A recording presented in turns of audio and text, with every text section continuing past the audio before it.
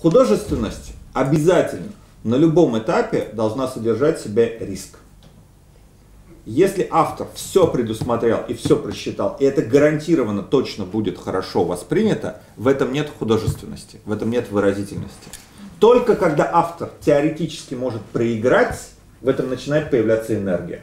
И зритель это чувствует инстинктивно. Поэтому мы плохо относимся к стерильным коммерческим американским фильмам, сделанным по, по правилам по учебнику, без нарушений, без, без какого-либо поиска. Мы такие посмотрели, такие, мы зря потратили время.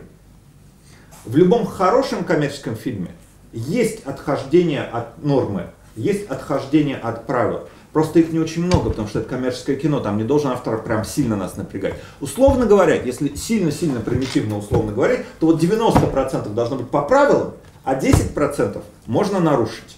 И вот эти 10% дадут момент художественности риска энергии для зрителя, а поскольку 90% все равно будет по правилам, у нас не будет слишком сложного восприятия, все равно будет легко раз, э, быть развлеченным.